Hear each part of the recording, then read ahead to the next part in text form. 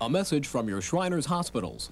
This bathroom could be the most dangerous room in the house. A lot of kids are seriously burned by scalding hot water in bathtubs. Small kids should never ever take a bath without a grown-up watching them closely. First of all, run cold water into the tub.